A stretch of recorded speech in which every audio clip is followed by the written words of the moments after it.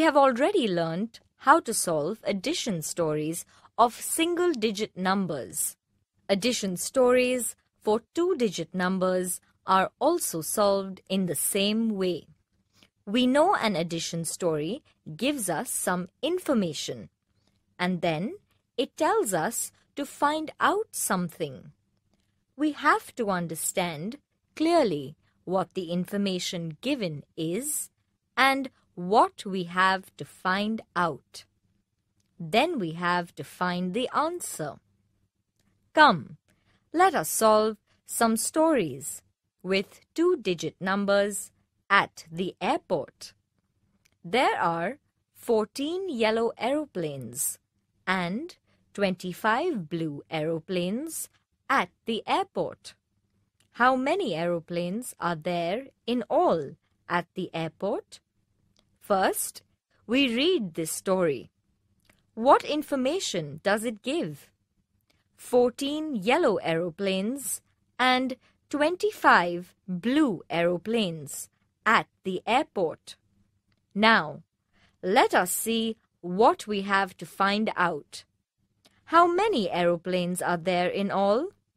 We have to add 14 and 25 to find the total number of aeroplanes.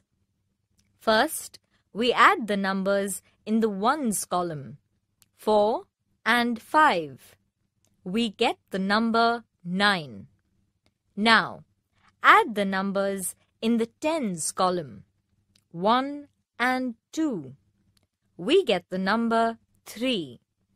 Hence, we get the number 39.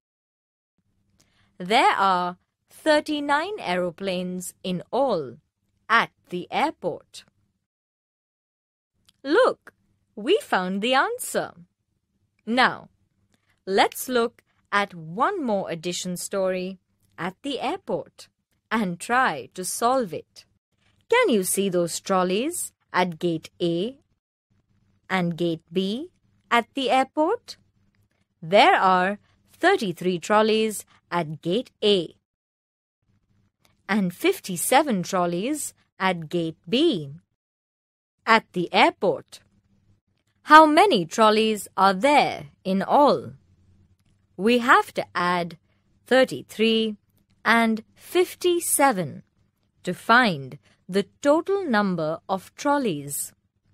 Add the ones, that is, 3 plus 7 is equal to 10.